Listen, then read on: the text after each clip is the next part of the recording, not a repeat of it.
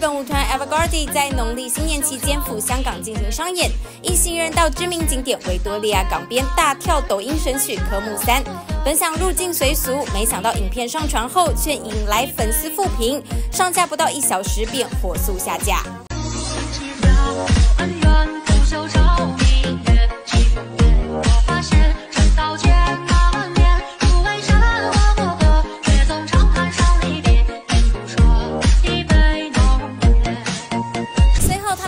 香港歌手许冠杰的经典《打雀英雄传》再一次入境随俗，扳回一城。六审三太公，大众海台立面似莲蓉，又放工打残梦，围埋砌几圈论啊论英雄，谁是大英雄？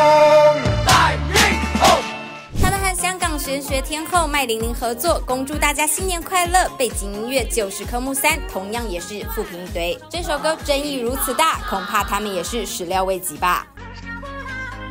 I have three lucky items for Chinese New Year. Wish you all the best.